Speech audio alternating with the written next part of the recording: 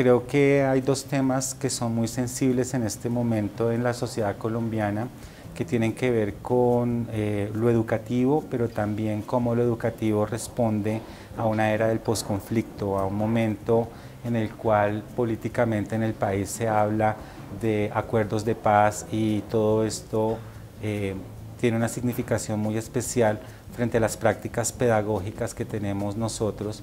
eh, no solamente desde el área de inglés, sino de cualquier área educativa que tengamos en nuestras instituciones escolares.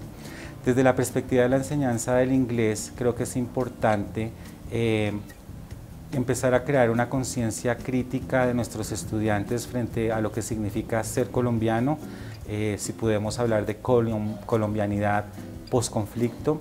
y en ese sentido creo que es importante aprender desde el otro idioma a expresar todas esas ideologías que empiezan a emerger, todos esos pensamientos que están allí en alguna medida ocultos en las clases y que a partir de comprender el mundo desde un segundo idioma podríamos ser capaces de expresarlo y de crear debate en ese sentido. Entonces yo sí considero que eh, las políticas de inclusión en clave de diferencia y en clave de diversidad son las que nos van a permitir acercarnos en este siglo XXI a un país eh, que es así, que es diferente, que es diverso y que a partir de leerlo desde otro idioma y desde el idioma materno, en esa interrelación tan bonita, pues es posible eh, comprenderlo y es posible también avanzar en, en nuevas prácticas de inclusión, eh, pero en un nivel pues muy general, em,